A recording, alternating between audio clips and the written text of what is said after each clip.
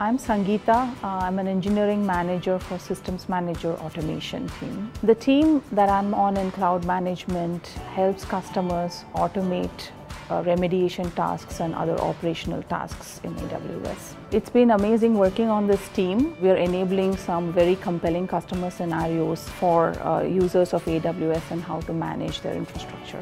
My biggest surprise when I joined AWS is how uh, the leadership principles are so much a part of AWS. It really teaches you how to be an effective leader and how to be a really a representational leader for your team uh, and focus on their growth.